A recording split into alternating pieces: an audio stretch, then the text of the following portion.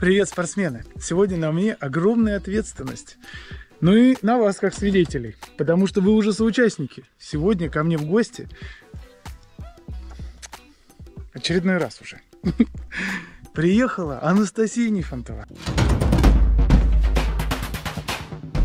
Меня зовут Анастасия Нифонтова, и я мотогонщица.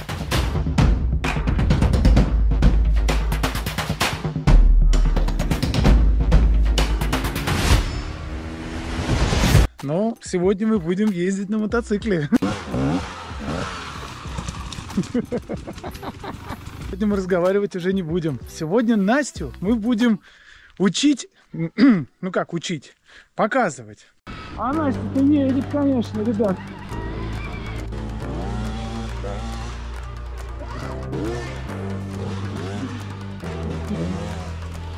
Как она чувствует мотик, это пиздец.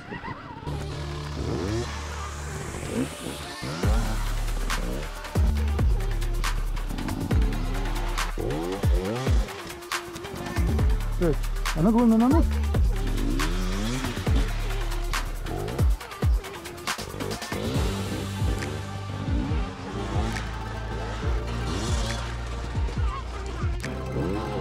Привет. Честно говоря, друзья, с Настей мы дружим довольно давно. Но вот так, чтобы она приехала к нам на трек, да еще, собственно, гоняла с нами на мотоцикле, это, конечно же, для нас с Павлухой огромная честь.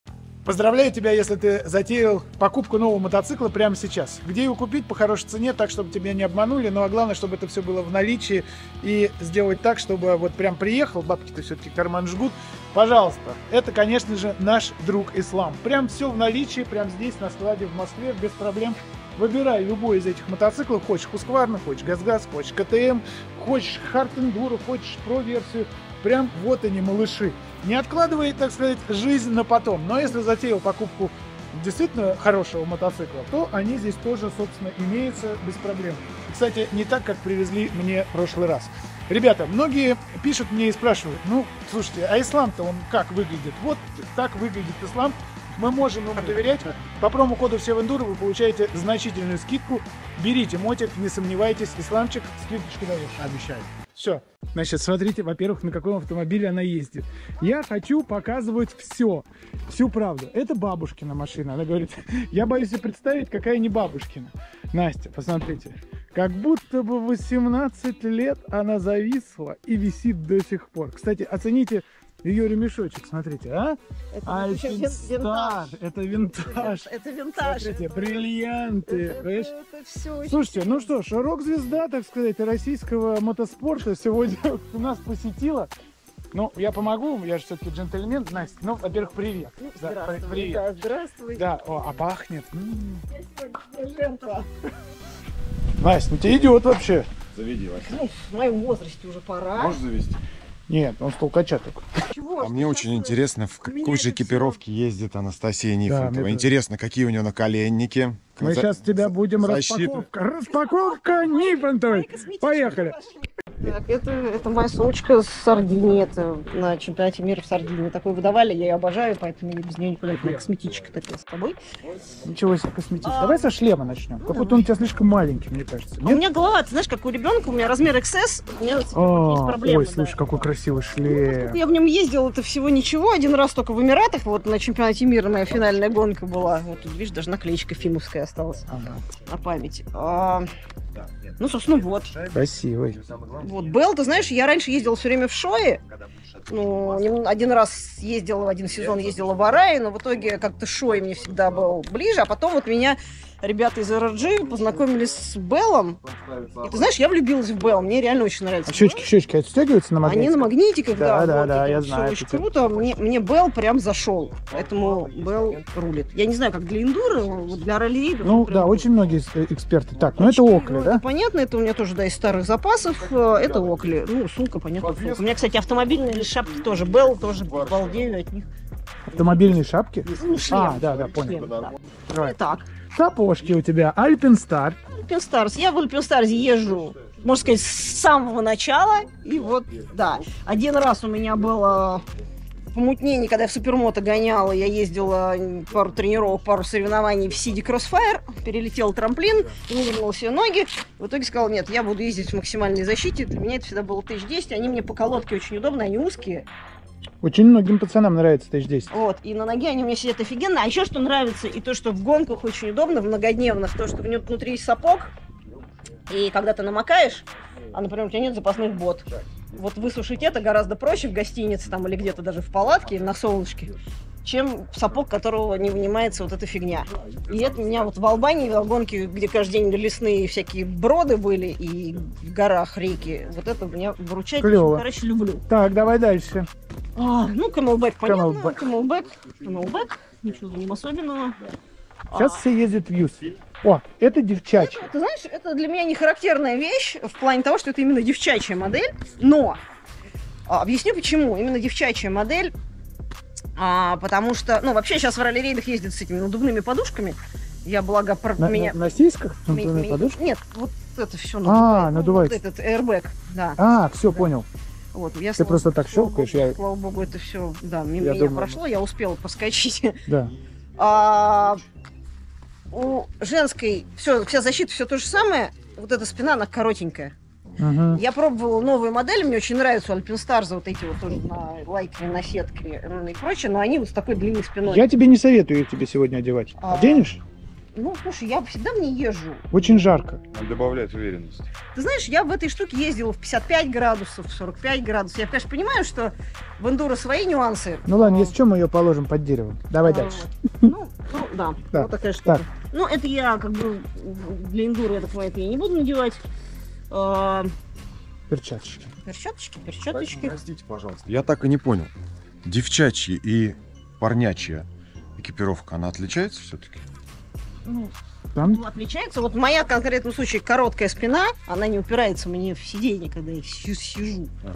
И, ну, вот есть нек- некие выпуклости небольшие. вот эти вот. Все, а в этом а- отличие А, заканчивается. уровень защиты, плечи, вот это, ну и розовая какая-то вот эта шляпа. А ты не любишь розовый, да? Не то, чтобы я как-то стараюсь...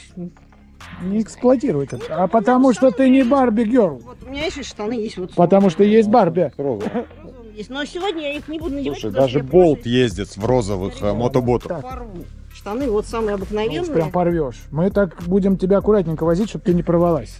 Так, Самые обыкновенные. что с брейсами у тебя? А, брейсы у меня именные CTI Custom. Ух Меня они спонсировали в свое время и сделали это вот на заводе крашеные. Меня красило. Ничего себе, смотрешка, видишь? Прикоснуться, да, прикоснуться. Внутри, по-моему, написано О, Нифонтово. Да, нифига. А почему 13, Настя? А в... Давай так, кто украл у кого? Колесников у тебя или ты у Я до Колесникова? Колесникова была 13, я Колесников? Мне в 99 году выдали 13 номер, а Лех, по-моему, с 2000 года э, в мотокроссе поехал с 13 Мгм. номером. Не буду спорить, ну плюс-минус, как-то это Настя, было. ну вообще, э, я тебе скажу, что сейчас Ями Customs, хотя, в общем-то, я не езжу сам в Ями Customs, но вы, вы- вижу, как это выглядит, точно лучше выглядит. Слушай, Ями Customs у меня были, а точнее, даже у меня есть. Мне Андрюха Митрошкин делал офигенные наколенники, соглашусь, они очень крутые. И, конечно, если говорить про цену, безусловно, я бы, ну, вот если покупала бы за свои деньги, у меня просто это как бы были спонсорские коленки. А, вот, если бы у меня, мне надо было за свои деньги покупать, я бы заказала, безусловно, Ями Customs. Они у меня были. А, естественно, на заре, когда еще Андрюха их только начинал делать, э, у меня была единственная проблема с ними, вот эта чашка. все надеваю, все отлично, и когда еду, вот здесь вот натирала, прям не могу до мяса натирала, и ездить, мы там с Андрюхой что-то сочиняли, что-то он мне там переделывал, э, но в итоге, в итоге он какую-то уже новую чашку сделал, но я, в общем... Короче. Да, сейчас в новых ша- э, вот этих чашках на своем собственном опыте подтверждаю, ничего не натирает, Ну да, езжу ну, уже больше пяти лет. Что, что что-то там переделали, поэтому, Так, да. а это у тебя дождевичок. Это раллийная куртка, без которой как бы никуда. И А чем отличается раллийная куртка? Ве- Вектор, кстати говоря, они первые. Вектор, да, знаю, Они знаю. мне делали сто лет назад еще куртку, которую я на Дакар ездил, такую же. Вот, это просто в новых спонсорских наклейках. А, собственно, почему нужна куртка? Потому что обычно, во-первых, ты едешь по дикой жаре и потеешь, и пот быстро выветривается, чтобы обезвоживание быстро, быстро не произошло. Ну и, во-вторых, э, карманы везде, потому что надо с собой тащить еду и еще что-то. Много вообще еды таскаешь? Салатик оливье. там. Ну, да, бутеры. А, вот, Вот это. это, эта вещь, это вообще такое ретро. У меня были другие шорты по ноге, и, честно скажу, они куда-то потерялись в процессе. Этим шортам лет 25. Вот как я начала ездить на мотике, а, они уже все О, Они еще, смотри, еще с памперсом, да? это, это вообще велосипедная Да, изначально да, была и- фигня. Вот тут даже написано downhill. Да. А тогда еще мотоциклисты даже не подозревали, что такое тоже можно использовать. И, До видишь, сих пор вот многие не ездят. велосипедными вот этими Да, да. абсолютно лямками. А я вот в 99-2000 году себе взяла вот эту фигню и, и с тех пор люблю ездить, вот, чтобы у меня ноги тоже были в защите. Ну, собственно, вот. Ну, собственно, это была распаковка Анастасии Нифонтовой, ребята. Вот так вот и по-простому, можно сказать, по-народному российская Ничего звезда такого. ралли э, ездит. Ничего такого. Наколенники только выдают много Скажу тебе па- честно, и гламура. а Моя сумочка даже поинтереснее. ну, кто бы сомневал. Вот знаешь, волнение ты имеешь или нет? Конечно. Имеешь. Серьезно? Вообще, я это просто на пороге встречи с неизвестным. Итак, Анастасия Нифонтова с нами на Пашкином КТМ и сегодня будет разъезжать и показывать нам настоящее, так сказать, на что способна Настя. Не на мотоцикле раллийном. А Настя-то едет, конечно, ребят. Ну, думаю, что до первого бревна. Было определенное такое, типа, ну, женщина, сами понимаете, что она там может, куда она поедет. Но нас она очень сильно удивила. И, конечно же, когда мы все на это смотрели, мы понимали, что это человек, имеющий просто какое-то невероятное чувство мотоцикла. Ей достаточно было там совершить 3-4 ошибки для того, чтобы потом понять, как это делается, и уже не совершать их как она двигается на мотике, как она вообще поворачивает, как она тормозит, как она работает на этом мотоцикле.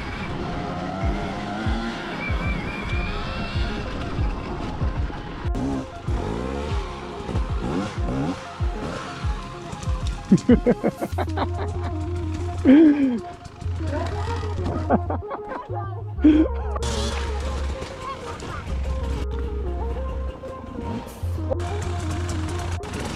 нее такие глаза сюда на пол восьмого. Видели ее глаза, пацаны?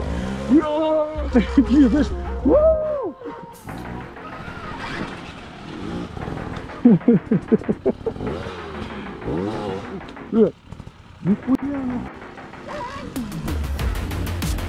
Жестко. Настюх, ну ты даешь. Вот сейчас, когда вы видите ее в деле, давайте я вам расскажу ее историю. Нифонтова Анастасия Николаевна родилась 19 января 1979 года, где вы думали, в городе Вашингтон, США. Значит, прожила там какое-то время и начала заниматься фигурным катанием. С 1995 по 1998 с раннего детства Настю привлекали мотоциклы, и вместо кукол она играла с машинками и мотиками. Вот такая была наша Настя. Родителям пришлось смириться с этим, с необычным, собственно, э, для девочки увлечением. И на 16-й день рождения папа все-таки купил ей мотоцикл Тула, на котором она начала колесить по окрестностям дачного участка. А дачный участок у Насти рядом с моим домом.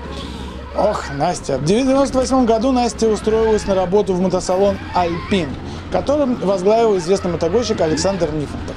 Первый российский участник ралли Париж-Дакар. Все на ноженька, смотри, видишь?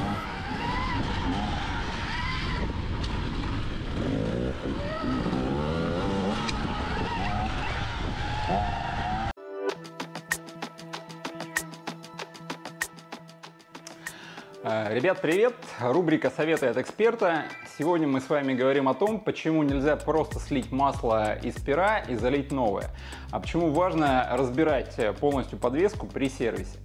Потому что в подвеске у вас образуются следы абразива выработки масла, именно черное отложение, которое оседает у вас обычно по всем уголкам э, внутри э, картриджей. То есть они на направляющих оседают, они оседают внутри, где крепятся копыта, где крепится клапан сжатия. И вся эта чернота остается у вас внутри. Если вы просто слили через верх, у вас вся эта грязь осталась. И то, что вы даже залили новое масло, у вас потом весь этот абразив начинает стирать внутренние компоненты подвески.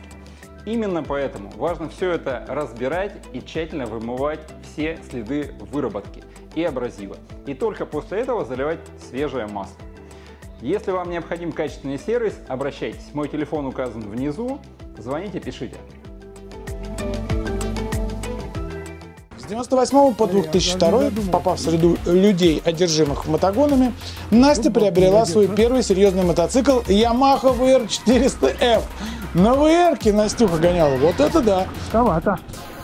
И в 99 году приняла участие в первой в своей жизни мотоциклетном соревновании Баха Селигер. За день гонки она успела, успешно преодолела 360 километров, будучи единственной девушкой участницей, не имея опыт езды на гоночном мотоцикле, на таких больших расстояниях, финишировала не самое последнее. Вот так. С этого момента участие в гонках стало регулярным, и вся спортивная жизнь подчинилась исключительно ралли-рейдам. Настя, конечно же, нам рассказывала, что она была всякими гонщиком, гонщиком она была и в Мотарде, была в Кольце, и была в э, мотокроссе. Но вот когда попробовала ралли, сказала, все, мое. С 2002 по 2005 а, эти годы прошли без мотоспорта.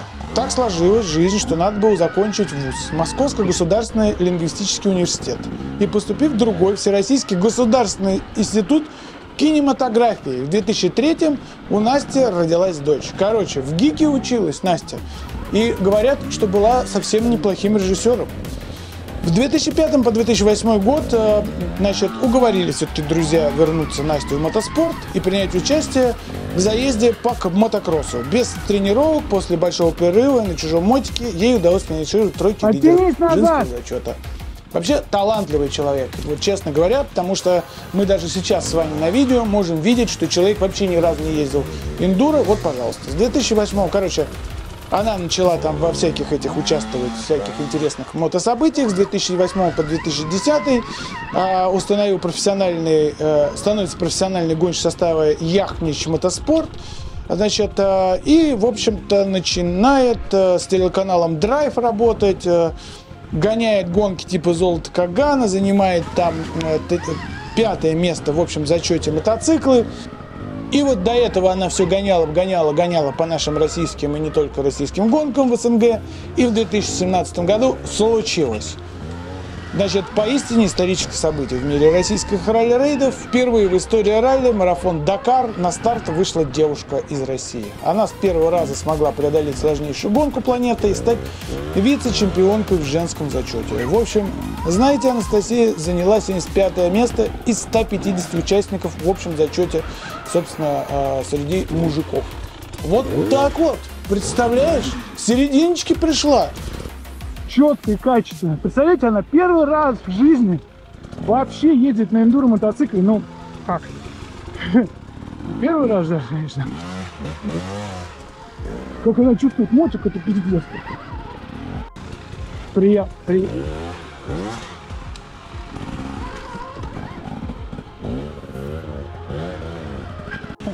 Попалась.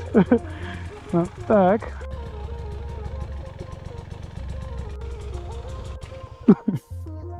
Елочка помешалась. Можно тебе только одна просьба? Да. По-братски. Да. Если ты придешь в эндуро, не иди в команду Hard Enduro.ru. Павлук, заводи канитель, поехали! В 2018 году решила притормозить и погонять, значит, э, в, на всяких там Тойотах и прочее. А в 2019 а, еще один исторический год. Нифонтова во второй раз принимает участие в ралли Дакар и становится первой в мире женщиной-финишером самого сложного зачета гонки. Original by, э, значит, масляная компания, заняв в ней девятое место среди мужчин и завоевав бронзу в абсолютном женском зачете. Мы с тобой прекрасно знаем, что парни из М-Мото уже много лет собирают обычные китайские мотоциклы на своей фабрике в Подольске и делают из них поистине гоночными. Как это происходит? Приходит контейнер с мотоциклами, они его берут, полностью разбирают мотик, промазывают, потому что у них есть огромный гоночный опыт, переделывают некоторые конструктивные особенности и создают тебе действительно мотоцикл, на котором можно участвовать прямо с коробки в гонке. Но сейчас они пошли дальше они взяли и создали настоящий гипермаркет китайских мотоциклов. То есть все модели китайских мотиков, такие как, например, FX Moto, Прогасси, э, Аджера. Ну, в общем, все самые популярные мотики, которые сейчас есть, они, помимо того, что сделали обзор на них, я вам оставляю ссылочку, важно, взяли вот эту вот просто море коробок, берут, достают и делают тебе мотоцикл качественно, доступно. Ну а главное, такой, на котором можно сразу участвовать в гонках. Что это дает? Это дает тебе возможность не чинить китайский мотоцикл, а сразу на нем ездить, путешествовать или гонять. Поэтому ссылочку на парней из AM Moto я, конечно же, оставляю вот здесь. Ссылочку на их YouTube канал, где можно посмотреть, как они это делают. Ну а главное, э, маленькие обзорчики про эти мотоциклы тоже оставляю под этим видео. Спасибо большое, что досмотрели до конца. И помните, не важно, какой у вас китайский мотоцикл, важно, где вы его купили и кто его собирал.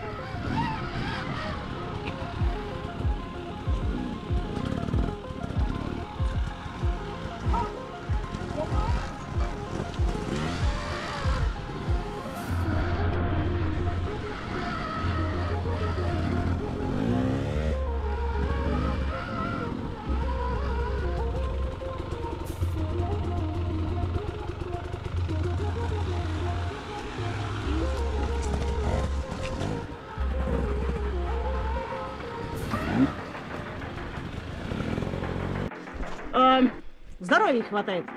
Я вот прям чувствую, я устала. За здоровье. Пиздец.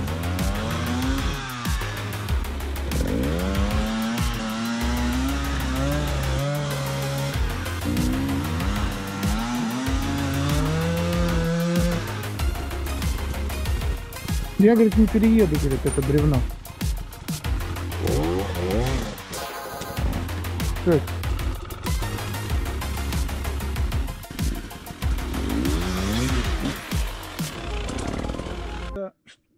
Ты, это что, ходьба с мотоциклом ты называешь? После ралли-рейдов, где, ну, я гоняла еще, когда можно было 170 км в час на мотоцикле ехать. Ну, вот сейчас ограничения ввели 140, ну, неважно, даже 100 км в час. И сколько мы тут едем? 15 км в час. Чувствуешь разницу. У меня, у меня сейчас вся проблема, я, ну, я прям еду и понимаю это. Мне как бы, тут, как говорится, даже тренер не нужен, потому что все в новинку. Я очень напряжена. Все, только из-за этого у меня... Чеховские парни просто могут поднапрячь.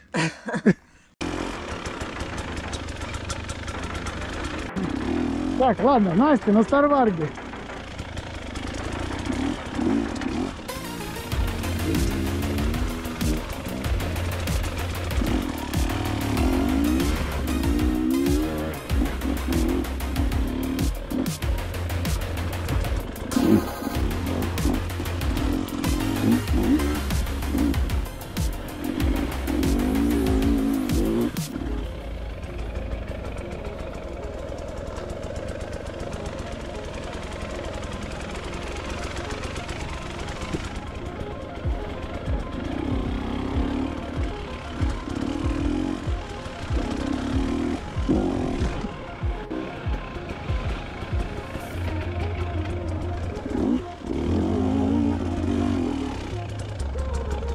А неплохо получилось, да. Очень неплохо, Настя. Так. Ну что, Настя, может назад поменяемся? Знаешь, мне понравилось. Ага. Понравился Старварк? Тяжеловатый, но, но клево. Поехали.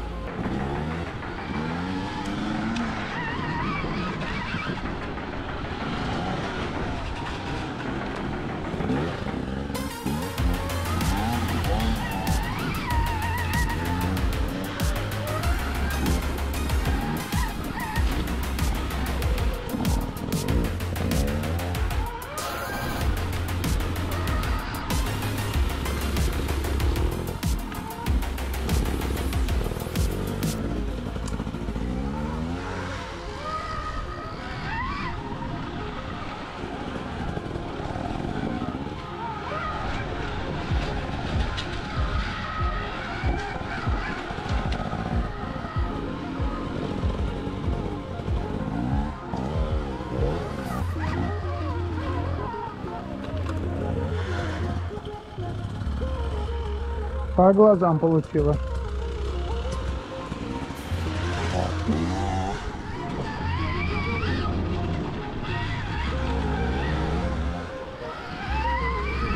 Самое удивительное, что Настя не останавливается и до сих пор.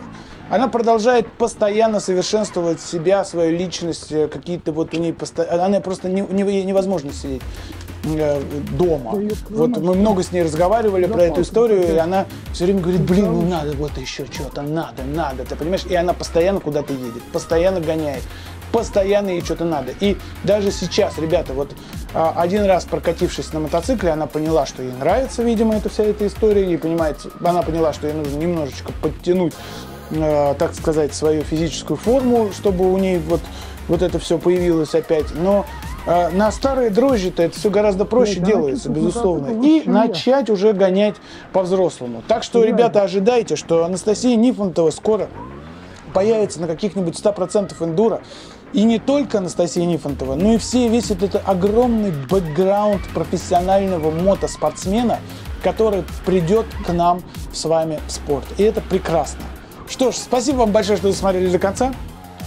Гоняйте эндуро, гоняйте на мотике и увидимся на гонках.